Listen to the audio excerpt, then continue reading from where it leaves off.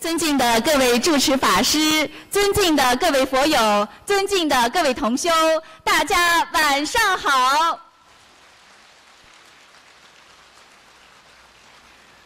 欢迎莅临二零一五年马来西亚槟城卢军宏台长世界佛友见面会。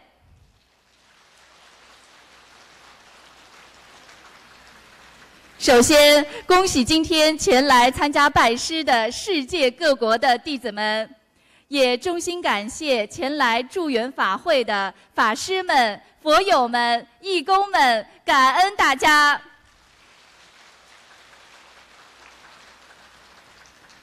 卢台长作为世界和平大使、世界华人的心灵导师，弘扬中华文化与佛法已有二十年。卢台长以佛法指导人生，以妙法启迪佛性，令众生开启智慧，悟出人生真谛。现在，全世界已有七百万佛友因心灵法门而离苦得乐，重获新生。卢台长也因此多次获得世界和平大使殊荣。并成为意大利七百七十年历史名校西耶纳大学荣誉客座教授，将和平之光传遍世界。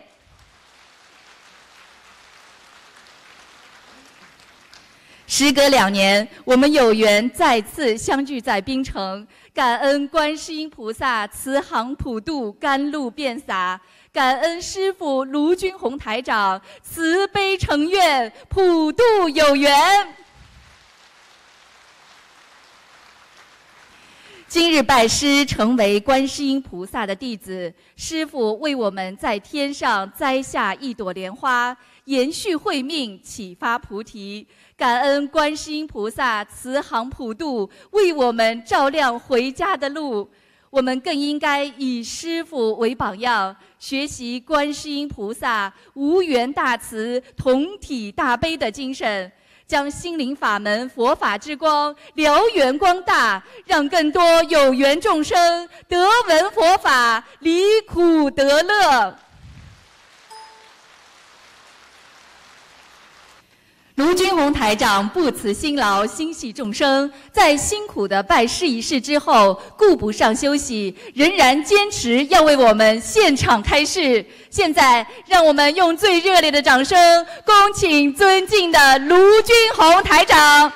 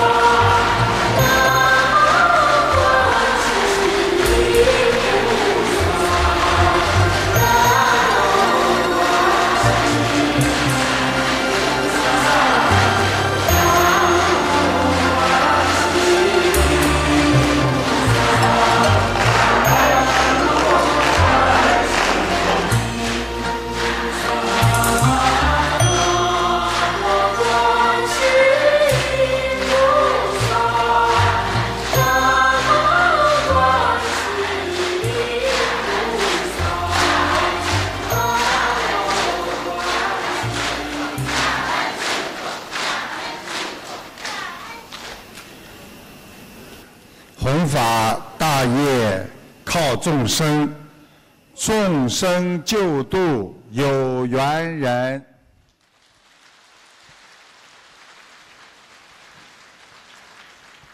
人成即佛成。我们感恩大慈大悲的观世音菩萨救度众生，让我们破迷开悟，成为观世音菩萨的千手千眼。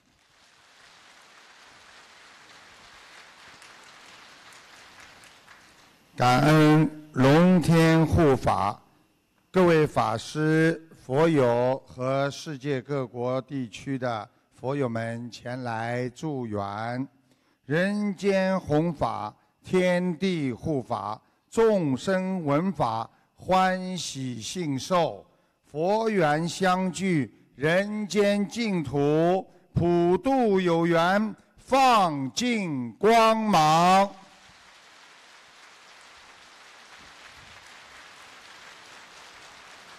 超脱六道，天上莲花朵朵开，众多的佛弟子又一次经受了人生的转折，皈依佛门。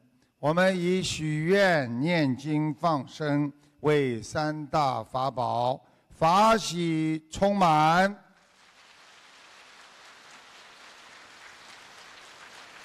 台长希望你们看破放下，彻底的改变自己的劣根性，好好的做人，让别人感到你已经变了，变得像一个菩萨的人了，让家庭变得就像一个天堂，你就能每天生活在天堂之中。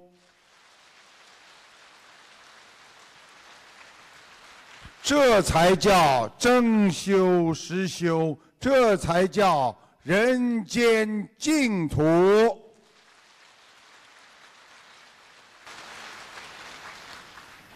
师父经常跟大家讲，一个人的生命非常的短暂，有时候我们稍不留神，死神就降临到我们的身上。墨尔本有一位。佛友，他突然接到他的同学的电话，说他年轻的妻子只有三十二岁，从发现癌症到死亡只有三个月，留下了一个五岁的孩子。这个同学痛不欲生，他花了上百万块钱。医治无效，所以台长跟你们讲，希望你们想一想，棺材不是专装老人的，能早点念经修行该多好啊！所以台长经常跟大家讲，人生无常，世事无常，赶快学佛，要想通。要想明白，不能等到报应来的时候，那个时候就晚矣啊！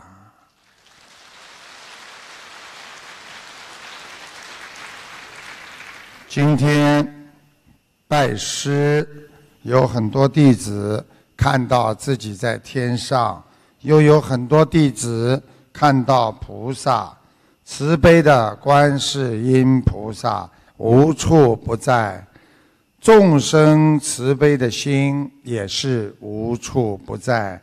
我们要活在感恩心，我们才会拥有自啊慈悲心啊。嗯。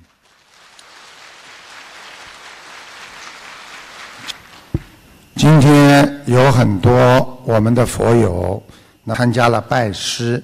他们全部看到了天上的菩萨，他们写了这么多看到的当场的证据，所以师父这摘录几段给大家念一下，让我们共沾法衣，共闻法喜。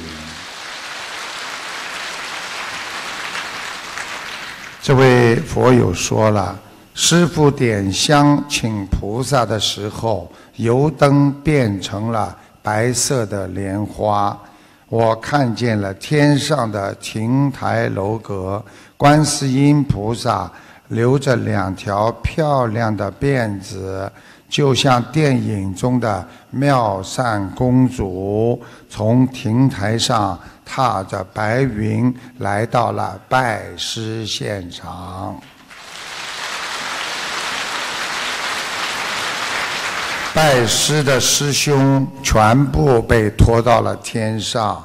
当师傅七拜菩萨时，每一拜都是金光闪闪。他说：“我又看见了一艘五米大的法船，呃，观世音菩萨站在法船上。”载着满船的人向右边驶去。拜师结束之后，五六米高大的佛陀坐在很大的莲花座，向我们挥手致意。我也向佛陀挥挥手。又有许多大菩萨挥手而来，我泪流满面。感恩师父，以上所述真实不虚。之前我还犹豫，此次拜师让我震撼不已呀！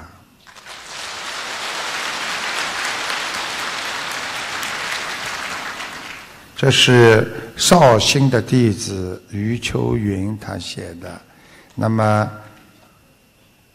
我因为太多了，我把几个精彩的再跟他稍微讲一点点。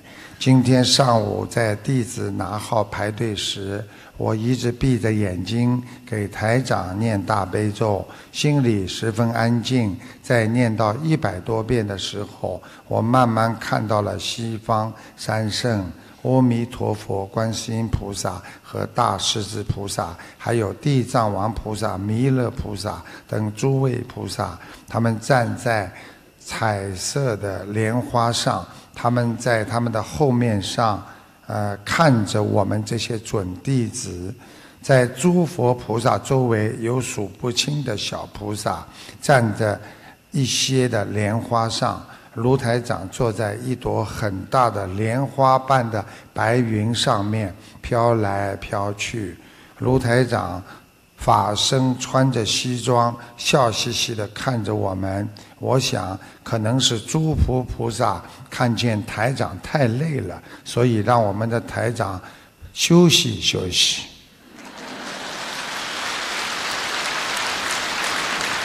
很会想。看到了就会想，心灵法门殊胜无比。四个月前在台湾法会上，我女儿女婿临上飞机前带着不满三岁的孩子，他在飞机上，孩子睡熟之后醒过来，居然念起了大悲咒，而且五。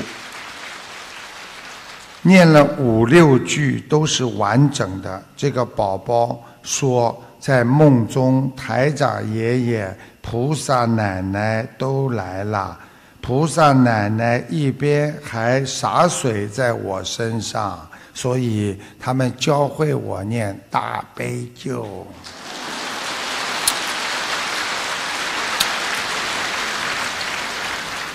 太多了，不能讲。没有时间了，大家都看一大堆。台长今天告诉大家，我们学佛人要懂得控制好自己的个性，要记住，个性像一张白纸啊，一经污染就不能像以前一样的洁白。我们慈悲的个性胜过。卓越的才智啊！大家想一想，一个有智慧的人，他一定会慈悲。所以很多人很聪明，以为在人间能够做这个做那个，但是他没有慈悲心啊。所以慈悲的人胜过卓越的才智。心胸狭隘的人总是扼杀别人的个性，软弱的人会随便改变自己的个性，坚强的人自然会袒露自己的个性。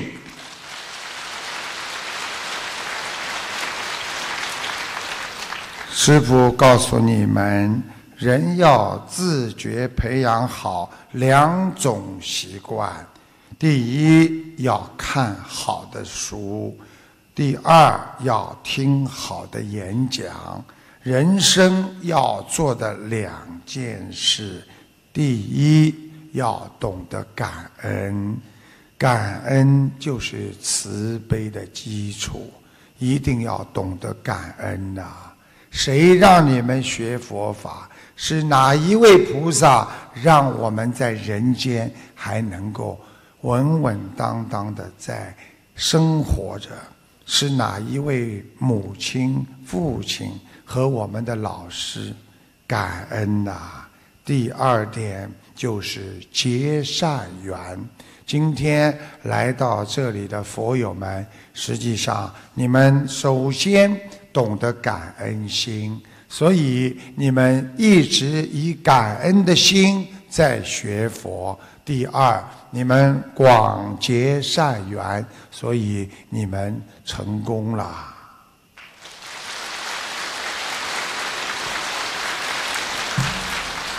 学会人生的两个基本点，这是人生啊！师傅没说是啊，啊弘法学佛，这人生的两个基本点，一个是糊涂点，还有一个是精进点。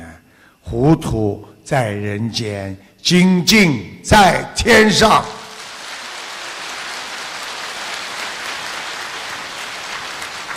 要记住，养好自己的生命之气，还要养好自己的精神之气。实际上，就要懂得爱护好身体，又要精神要有气，这样才会提升你一生的浩然正气。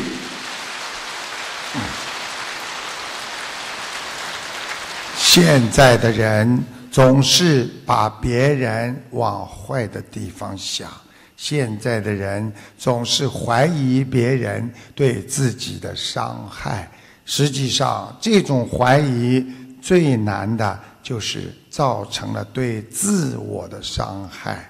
台长告诉大家，有一个单身的女子，她刚刚的搬家，她的邻居呢？是一户穷人，刚刚搬家呢，他呢不跟隔壁打交道。这户穷人呢是一个寡妇和两个孩子，两个小孩很小的。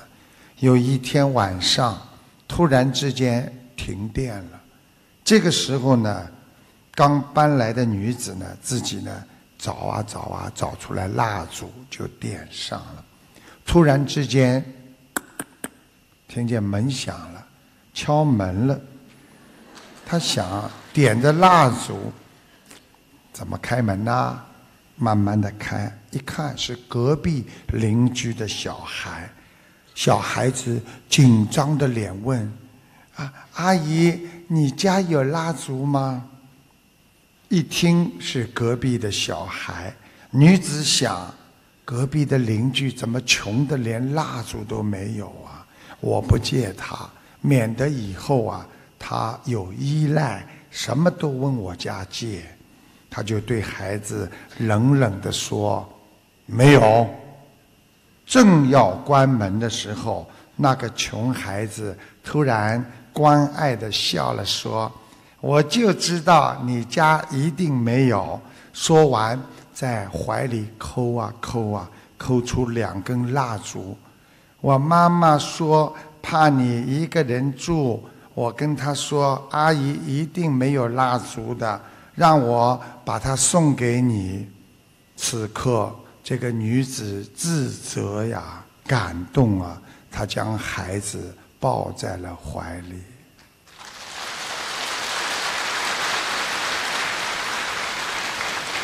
记住，师父告诉你们。人为什么会变？你们知道吗？因为小时候我们都长身体去了，所以我们很天真、很快乐呀。慢慢的，我们长大了，我们不长身体了，我们都长心眼了。所以我们的纯洁就找不到了，我们的慈悲就没有，所以我们就活着很累了，怀疑呀，嫉妒啊。恨别人呐，总是把别人往坏的地方想，自己活得越来越孤独啊！在社会上和人相处又是这么的难呐，看见人家不笑，他就不笑，要别人先对我好，我再对他好。你想一想，你把自己的心紧紧的关起来了。久而久之，你就是自闭症啊！然而，你天天在社会上害怕别人搞你、捉弄你、弄你，你又拥有了恐惧症啊！所以。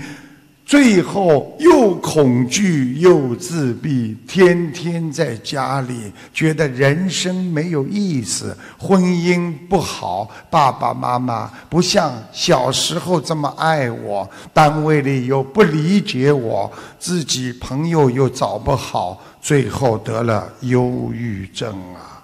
所以要做到无有恐怖，无恐怖故。重罪皆忏悔呀！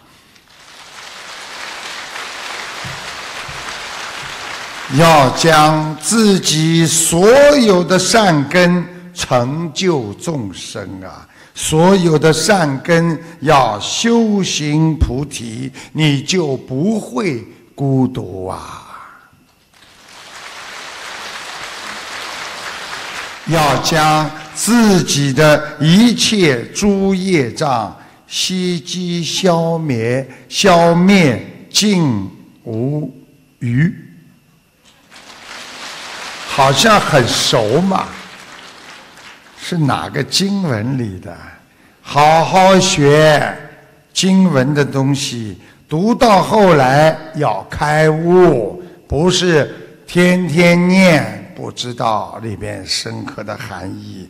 人想不会忧郁，就要远离颠倒梦想，无恐怖就不会生恐怖症啊！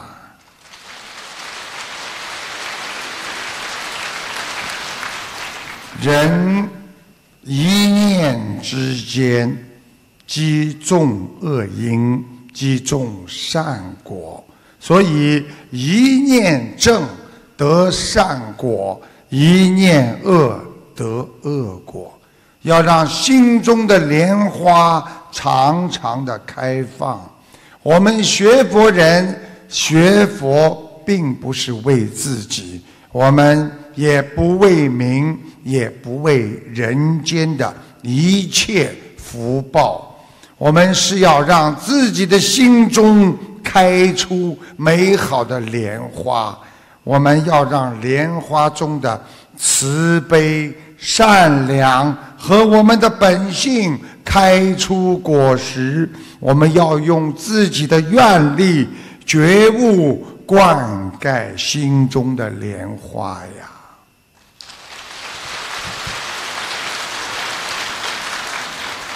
拥有一朵洁白的莲花，我们才能将凡心转为佛心，才能能舍，才不会执着这个人间的一切烦恼。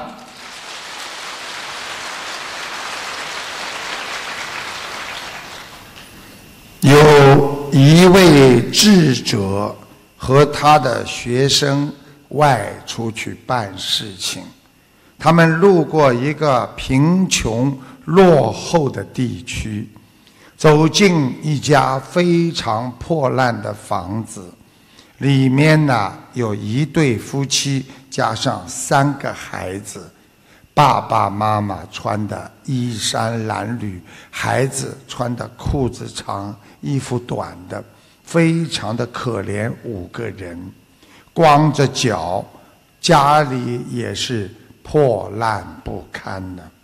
这个智者就问了：“你为什么要在贫困的地区生活，又没有工作的机会？”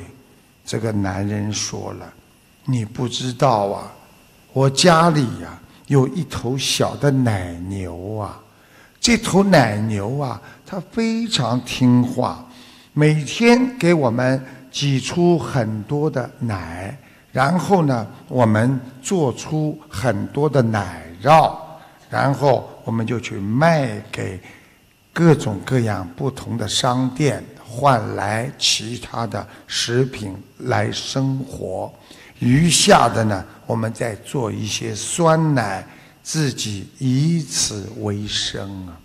这个智者非常感恩他的诚实和实实在在。他跟那个孩子，跟他自己一个学生呢走，就说好再见再见，离开了。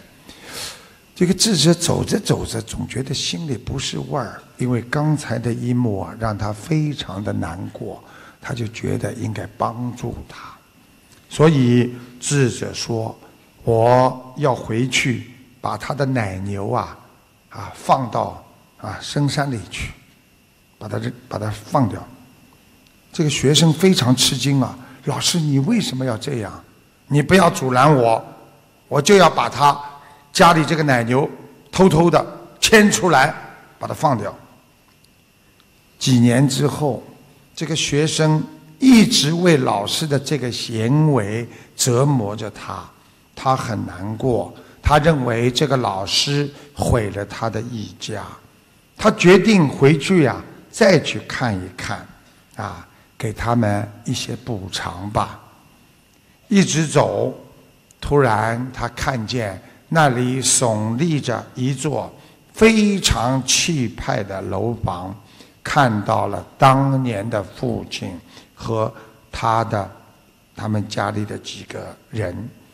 这个学生非常吃惊的说：“怎么你会摆脱困境的啊，变成今天的成功啊？”这个男的笑着说：“哎，几年前。”我们唯一的一头靠着它生存的奶牛突然不见了。最初我们很难过，后来动员全家发展新技能，我们卖掉仅有的一块地，造了另外的一座楼。我们借了农场来养牛，很快的就富起来了。哎。要不是那头奶牛失踪啊，我们还挤在破屋当中挤奶维持生活呢。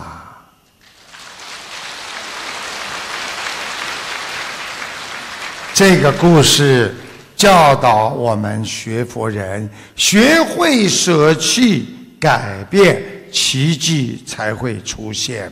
失去不代表放弃。学会舍才是成功的开始，舍弃身上的缺点，才能尽现你身上的优点呐。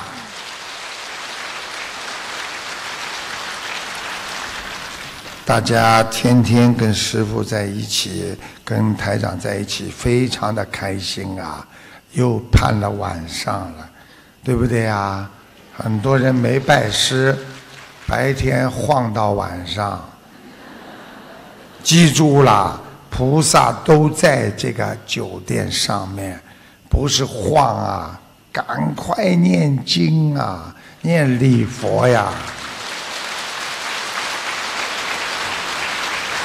而且在年三十之前要多念礼佛。什么叫除夕呀？去除昔日不好的业障。我们学佛人就是要去除昔日的倒霉烦恼，我们要有新的信心来迎接新的一年呐！所以赶快念礼佛，把我们的业障全部的忏悔掉，我们才会迎接我们春节的钟声到来呀！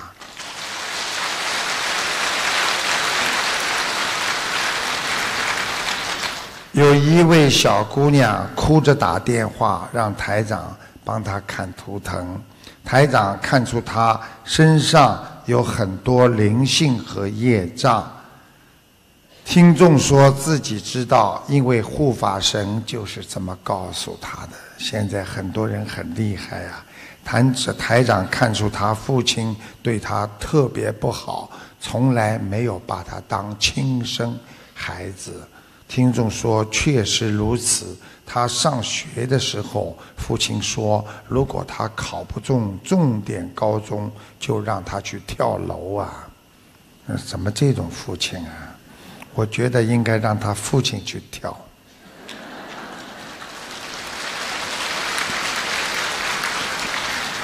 台长看到他们是前世的大冤结。父亲前世是他的婆婆，她的前世对婆婆很不好，所以婆婆这辈子做他父亲来报复他。请大家听一听录音，谢谢。台长，你帮我看一下吧，我是一九八六年属牛的。哎呦，哎呦，你很糟糕哎。你身上的灵性很多，而且业业障快重的不得了哎，颜色深的不得了。是的，是的。我以前念经的时候，感觉有护法神跟我说过，我身上灵性很多，然后业障很重很重。对，你看见了吗？跟台长讲的一样吗？我告诉你，你从小生出来，爸爸妈妈里边就有一个非常对你不好。对我爸爸，我爸爸对我非常恨你。嗯对，就是我爸爸。要打你呀，嗯。对的。他根本没把你当亲生的。对。嗯。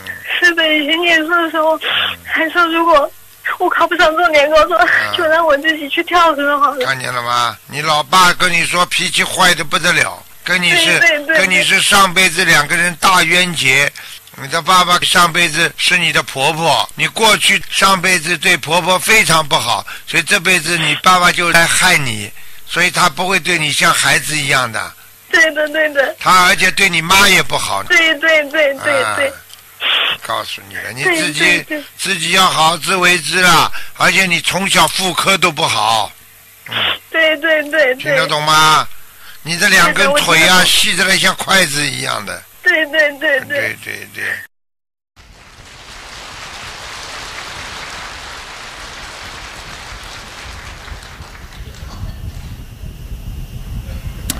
一念之恶积重恶因，一念积正即得善果。让心中的莲花长长的开放。我们学佛人。并不是为名利的，所以台长让你们要懂得开出莲花，在莲花中要慢慢的懂得怎么样来让自己真正的慈悲来发扬出来。这个虚幻的世界让我们分不清什么是对的，什么是错的，所以要去。去除分别妄想执着，你才能见到自信的光明。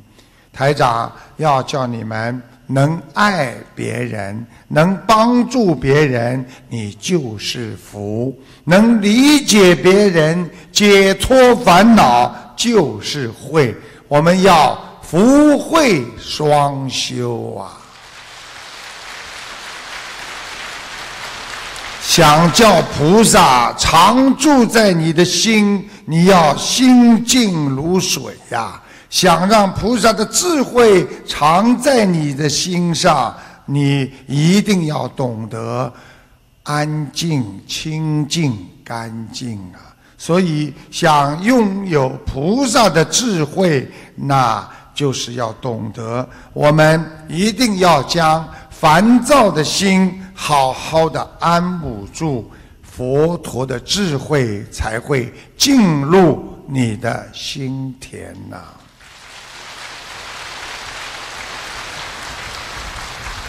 师父告诉你们，现在的人有时候明明是对的，你讲不清楚啊；明明是错的，你也解释不清楚啊。我讲个小笑话给你们听听。有一位叫张太太，她打电话给一个建筑师，她说：“我们家里呀，每当火车经过的时候啊。”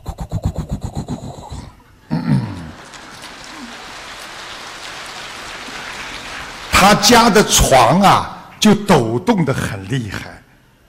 结果呢，他就打电话给那个建筑师：“建筑师啊，每当火车一过我们家啊，我的床就抖啊。”建筑师说：“那不可能的，无稽之谈呐。”张太太说：“不信，你到我们家来看看。”结果建筑师呢，过了一个小时之后，就找到了地址。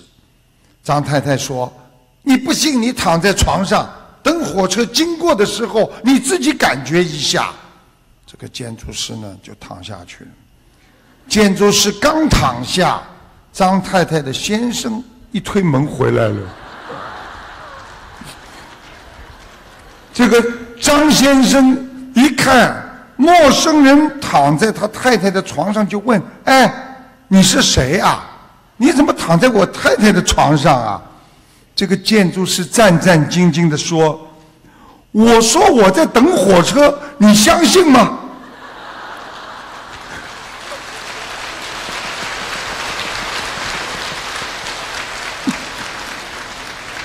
所以，现代社会人真假不分，有些真的话听上去像假的，而有些假的话听上去像真的，让人。坚信不疑呀！为什么这么多的人会上当呢？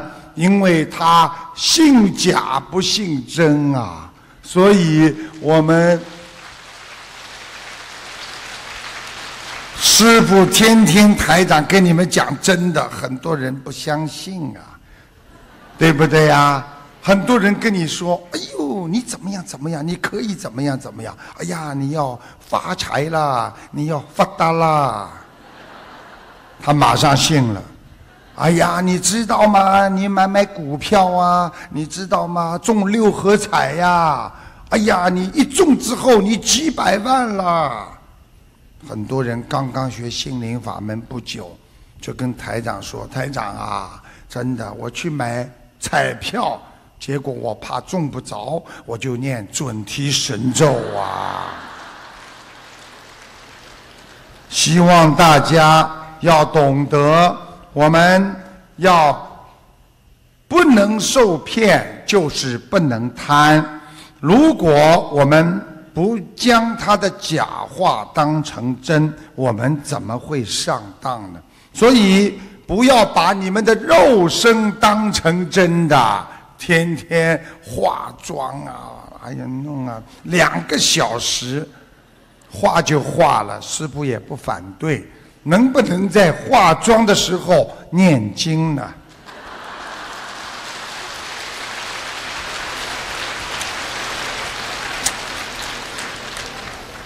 千手千眼无畏大悲心，陀罗尼，波罗波罗蜜多心经。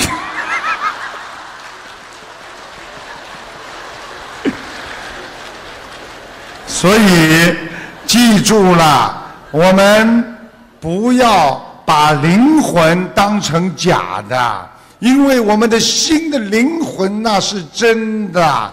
所以，一定要珍惜自己的灵魂。你到底在干了些什么？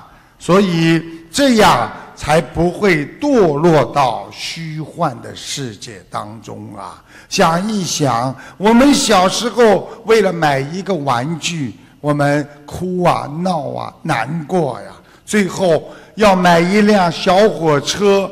等到火车一个星期在你家之后，连火车轮子都找不到了，那是虚幻的世界。今天你是会长，明天你什么都不是。今天你拥有钱，你明天可能就破产了。所以虚幻世界都是空。找到自己真实的本性，好好的学佛修心，那才是真的。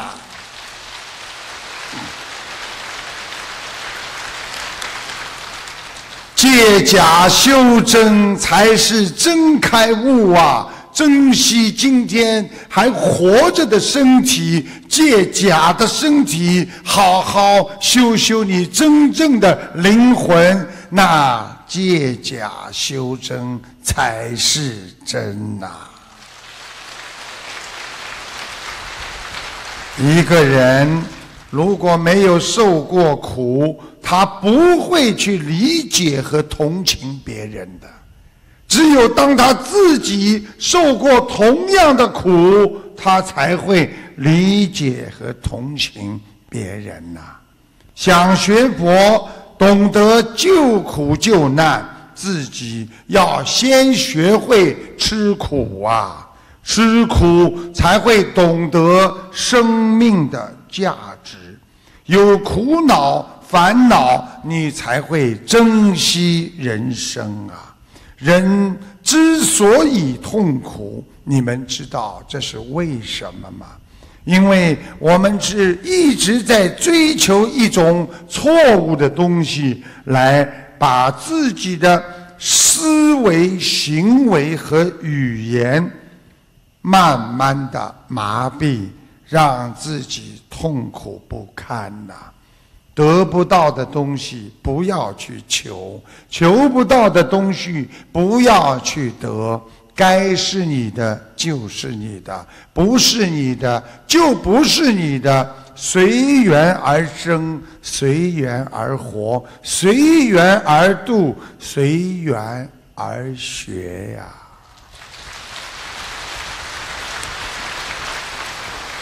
很多人经常说我很烦恼，告诉大家，烦恼就是自己找的。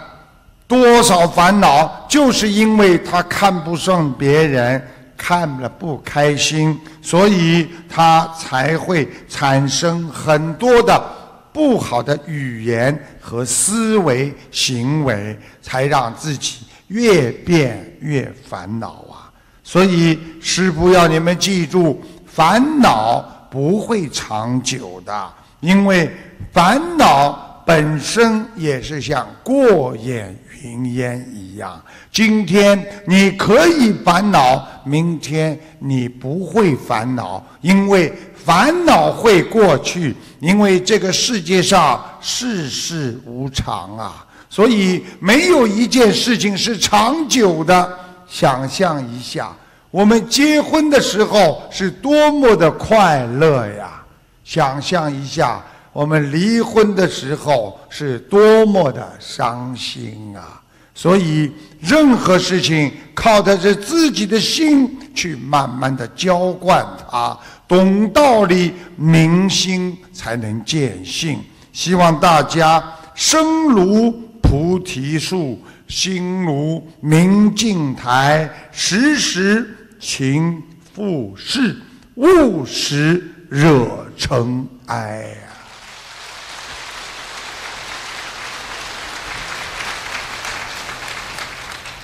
师傅又把这几句诗，我自己写了几句，见笑见笑，啊，希望我的弟子能够喜欢喜欢。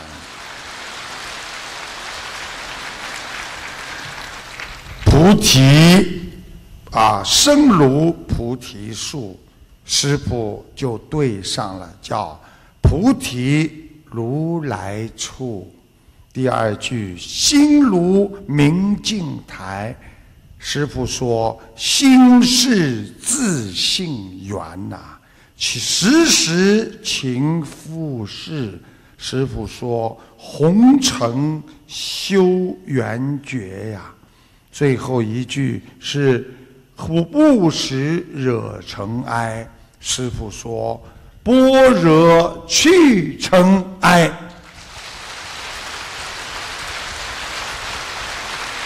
有智慧的人，所有人间的一切烦恼、一切业障，全部的都能用智慧来去除。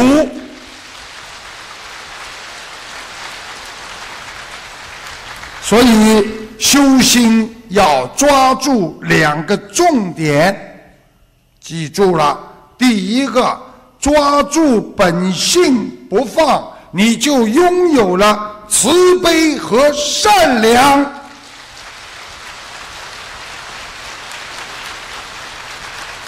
第二点，抓住自己的心，要锁住你的欲望。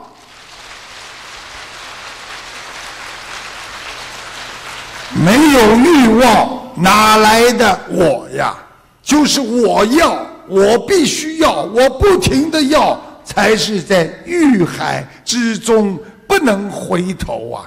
所以佛法讲无，就是大乘佛法当中讲的真空啊，因为没有了就是无啊，意思就是超越了有和无啊，所以已经把。有和无都看空了，我们知道有就是无，无就是有，所以六祖慧能大师说：“本来无一物，何处惹尘埃呀？”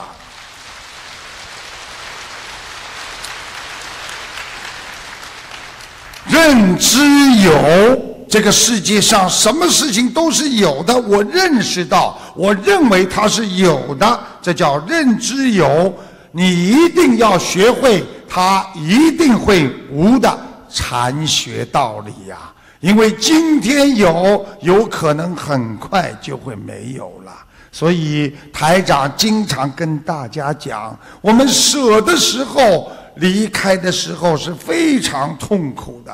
所以我们舍不得呀，想一想，想有离开的痛苦，就不要去拥有，不要去拥有，你就永远不会有舍去的悲痛啊！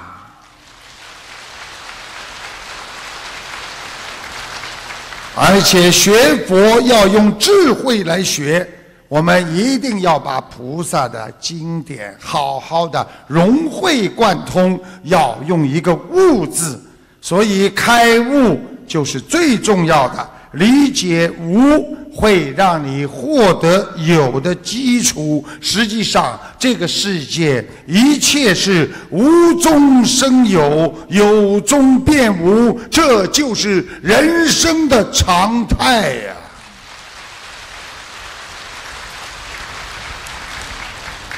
我们人常常的活在轮回之中！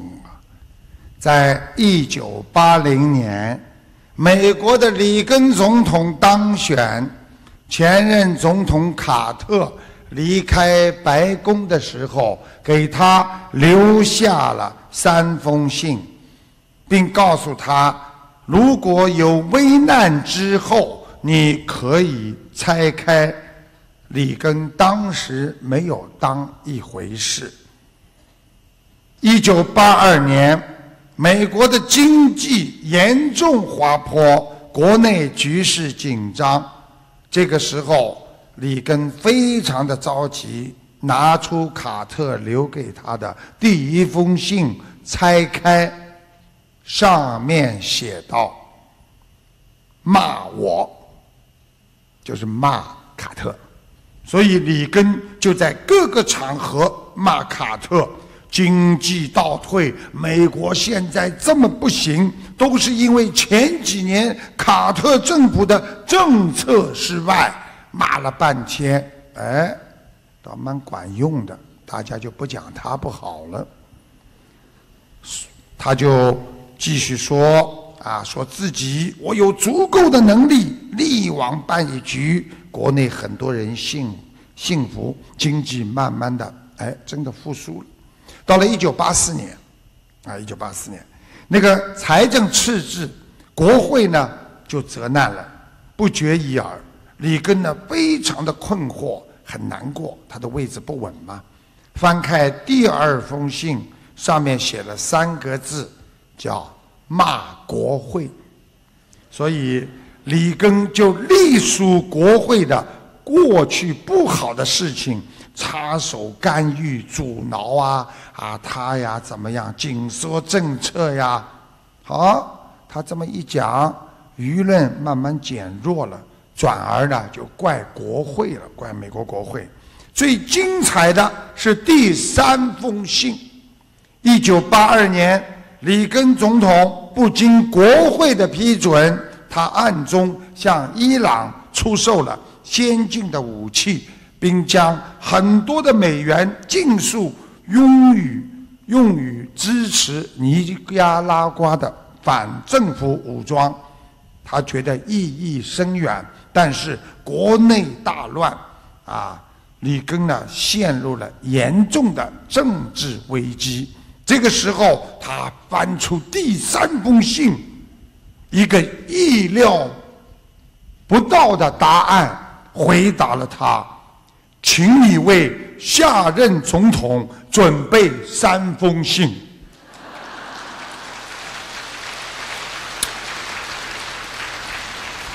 人活在世界上，不就是轮回吗？今天做错了。明天做对了，后天又做错了，大后天又做对了。我们不就是轮回吗？家庭今天太太跟你说对不起，明天你跟太太说对不起，你们都是在轮回当中了。所以人的欲望啊，师傅告诉你们，台长告诉你们，人的欲望像一个漏气的气球了。你再怎么往里边打气了，永远他得不到满足的。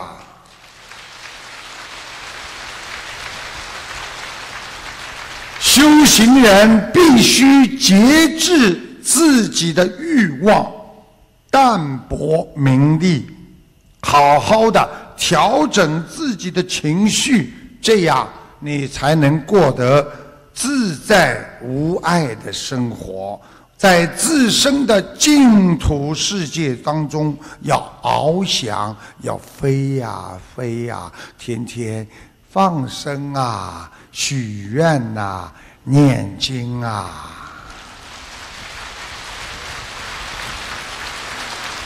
最后换来的法喜呀，充满呐，知足啊，快乐呀。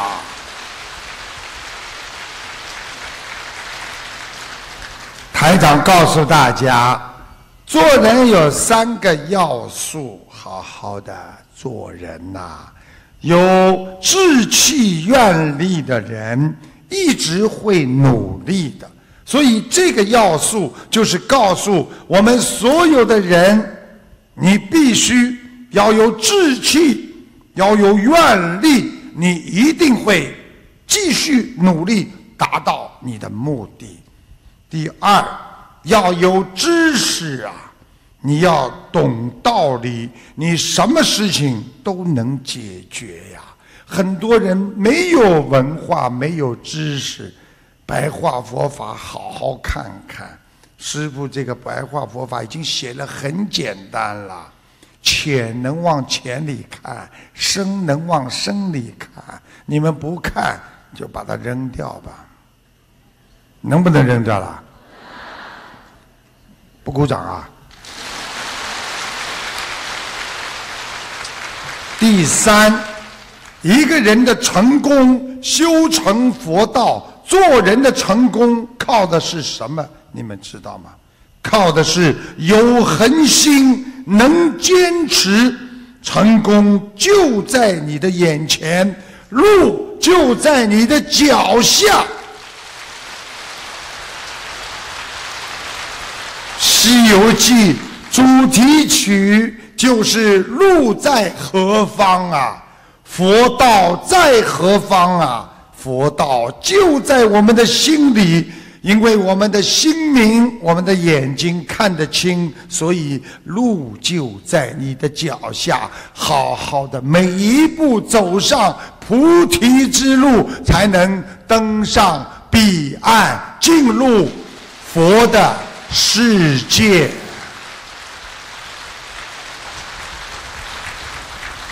师父告诉你们，在西班牙，啊。有一个木材商的孩子，他从小生着很呆头呆脑的，人们都叫他木头。十二岁的时候，他做了一个梦，他梦到有个国王给他颁奖，因为他写的字被诺贝尔看上了，所以他很想就把这个梦啊告诉别人。但是他想，我告诉别人，人家肯定会骂我了，神经啊，啊，傻瓜呀，怕人家嘲笑。最后，他就告诉了他的妈妈。妈妈说：“孩子啊，当上帝把一个美好的梦放想放在谁的心中的时候，上帝一定会帮助他完成的。”就这么一句话。这个孩子真的相信了，他从此就开始喜欢写作。三年过去了，上帝没来；又三年过去了，上帝还是没有来。但希特勒的部队到来了，他是一个犹太人，被关进了集中营，六百万人失去生命。他活了下来。一九六五年，他写了第一部他自传的小说，叫《无法选择的生命》。一九七五年，他选择的第二部小说叫《退稿》。接下来，他越写越多，终于有一天。瑞典皇家文学院宣布，二零零二年诺贝尔文学奖授予匈牙利作家凯尔泰斯。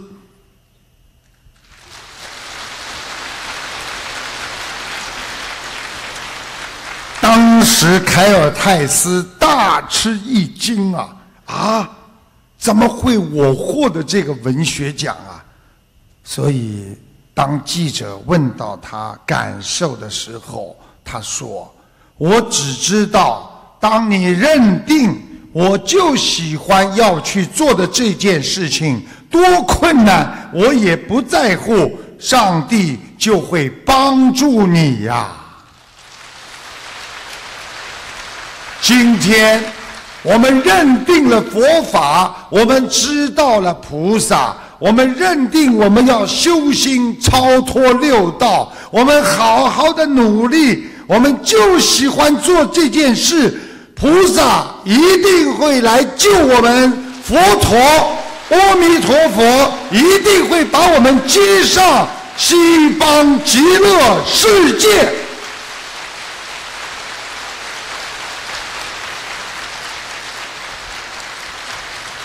人。往往是看不清自己最近的地方，最近最近的地方，所以人看不清自己身上的毛病啊！我问你们呐，眼睫毛就在你们的眼睛前面，你们看得见吗？除非涂眼睫毛的时候涂的太厚了，你才看得见。像我们。从来看不见，所以人的弱点是什么？往往是不知你眼前你正在做的什么事情啊！所以你不知道眼前正在做什么事情，你也看不清楚别人会对你做什么事情。所以很多人对你们的付出，你们可以视而不见呢。想一想，有些太太在家里帮你饭烧好、碗洗好，帮你椅子放好，什么都弄好，你以为这是天上掉下来的？你看不见她的付出啊！想一想，就这么一个法会，我们要感恩多少帮助我们的人呐！想一想，我们的音响师，我们搭舞台、搭灯光请来的师傅们，还有这么多的义工，给你们放上两千多个椅子啊！想一想，这些付出，你坐在这里，当你开心，当你拥有知识、拥有佛法的时候，你知道感恩了吗？好好的谢谢他们吧。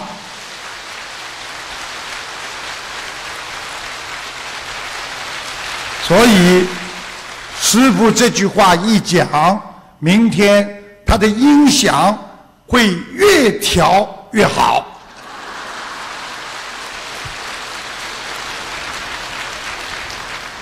所以大家要记住，活在世界上，我们要重视每一件事情。对每一件事情，你一定要重视。如果你不重视某一件事情，你就会坏事。所以你不注重每一个人，你就会失去他，离开他。你在家里你不重视谁，谁慢慢就会离开你了。学佛人要学会尊重别人，感恩别人，你才会真正的从心里去得到他。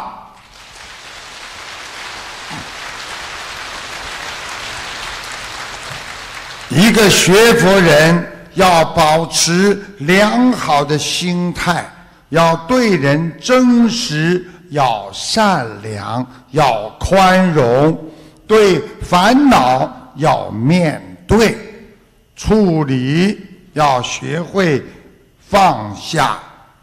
师父告诉你们几点：人活在这个世界上，吃得下的时候。要懂得感恩，睡着着的时候是善福啊，善良的福报；笑得开的时候，是因为你知福啊。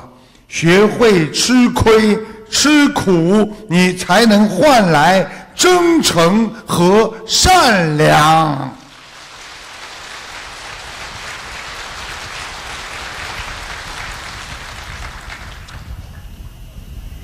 这个听众反馈，自己的舅舅六十三岁有个劫，业障爆发，得了肾静脉栓塞，转成肺静脉栓塞，住进了重症监护室。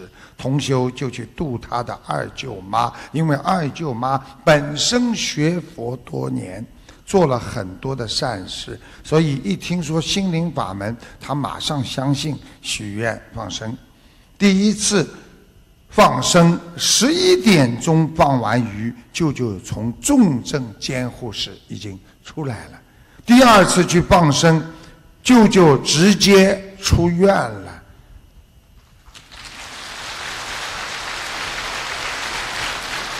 请大家。听一听这个录音，谢谢。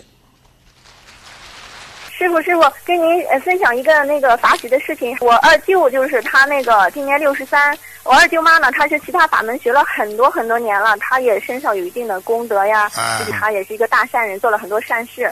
但是她没学咱法门。我二舅呢，忽然就业障爆发了，今年他六十三。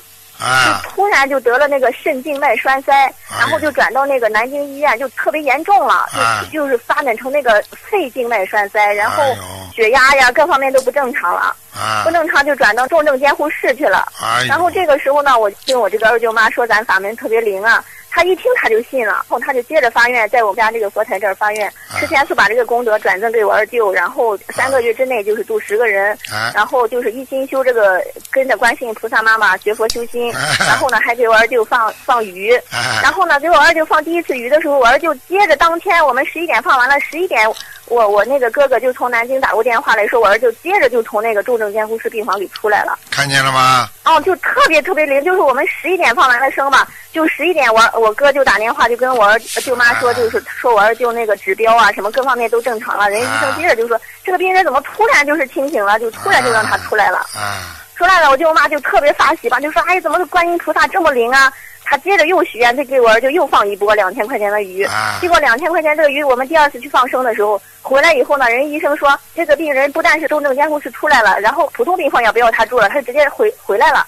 你看看看，我告诉你，这种人为什么这么准？他过去学的佛全部都有加持的，就是因为他过去学佛，所以菩萨妈妈才让他找到这么好的法门呢。你听得懂吗？对，他一求就灵了，我一说他就信，一求他就特别。看见了吗？感恩师傅，嗯，感恩心灵法门，法门这么灵啊，让他救了我儿救了。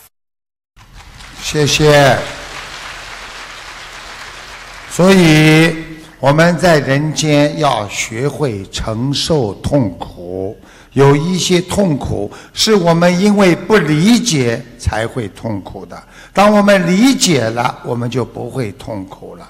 所以很多人整天的被孩子烦恼，终有一天，有一次人家点他这个孩子，因为上一辈子是你的谁谁谁，所以他说哦讨债鬼，所以他想通了，好让他讨吧，他就不痛苦了。所以痛苦教会了我们为人处事的道理，所以吃苦就是宵夜。所以，我们学佛人要懂得，既然我们在人间无法逃避，教我们就要勇敢的去接受它。佛教导我们，修心就是要改变，所以我们要纠正自己的心态。人与人之间，实际上。并没有太大的区别，真正的区别就是在于每一个人的心态。所以，心态决定着一个人的命运，心态就是让你得到顺利和不顺利的最根本的道理。所以，真正的学佛人要控制人间的事和物，就是要有一个。好的心态，什么事情我不争不抢，但我们一定要控制好自己的心灵和心态，我们才能解决人间的一切烦恼。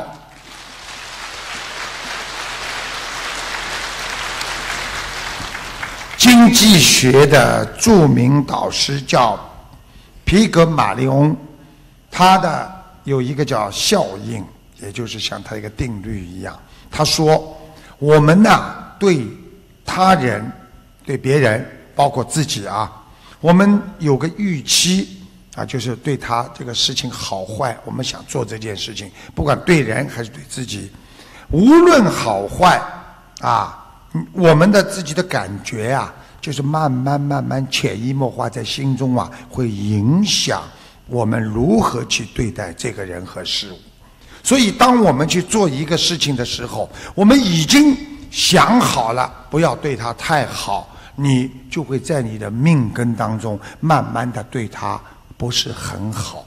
所以，对这种期待方法的行为，又会导致我们个人行为与意与预期的相一致。也就是说，你今天去做这件事情，你认为一定能成功的，你可能真的会成功。你在做的之前，你都没有想去要成功，可能的，我试试看吧，无所谓的，你不一定能够成功。所以，最终想使你的预期成功，我们说了，就是要心中有愿力。我们学佛人真正的想让自己成佛，我们一定要相信菩萨，许愿念经会产生出与心理行为所为所一致的效果，让我们来实现我们共登极乐的理想。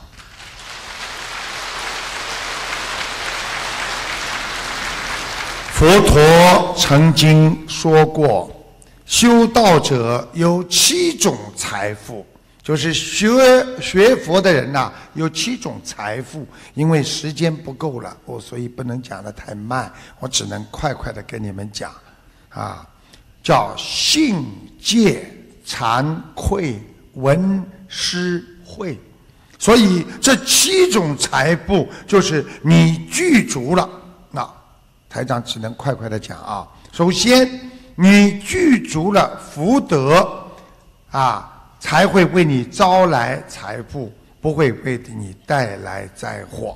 这七种信是什么？就是信仰。我今天有信仰了，我相信所有一切。戒就是戒律，大家都知道。惭是什么呢？就是啊，惭耻，就惭愧，觉得自己很羞耻，很丢脸。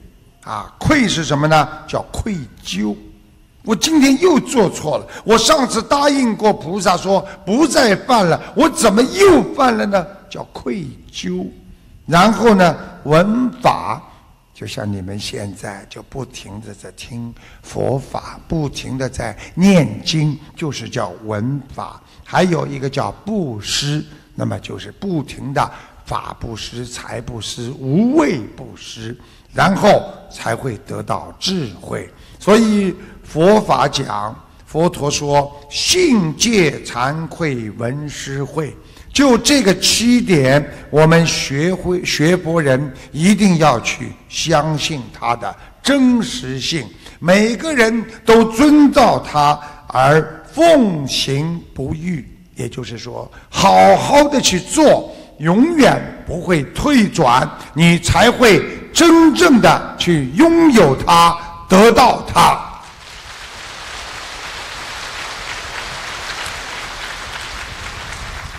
英国有位著名的作家叫约翰·克里希，这个人呢，年轻的时候写作写书啊，非常的勤奋，非常的勤奋，但受到了接二连三的沉重打击。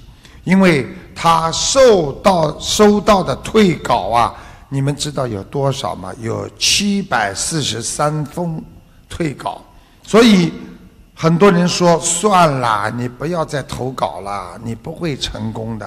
他说不错，我正在承受人们不敢相信的大量的失败考验。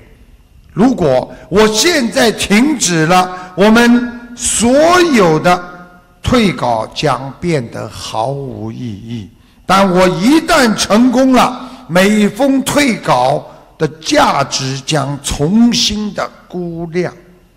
克里希最后一共出版了五百六十四本书，无数的失败让他赢得了惊人的成功。所以，我们学佛人要懂得，我们学佛当中的难题不停的出来。我们家里不支持，学佛念不动，或者拜佛没有时间，天天怎么样那么样，困难重重。如果你一旦放弃了，你就永远失去了佛法。记住，勇敢的、坚持的、好好的。按照自己的信念去努力，我们坚定自己的信心，天天的戒定慧。我们一定要克服贪嗔痴，我们一定要懂得天上的菩萨看着我们，天天修，天天戒，天天的布施，天天的有智慧，相信菩萨永远。有一天会来救我们的，所以这一天就是靠着你的坚持，靠着你的永恒。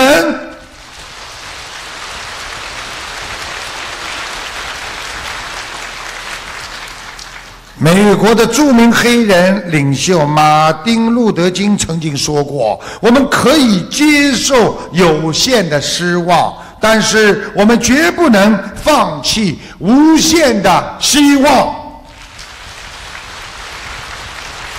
台长告诉大家一句话：学佛中可以想不通，但是我们绝对不能舍弃佛法。谢谢大家。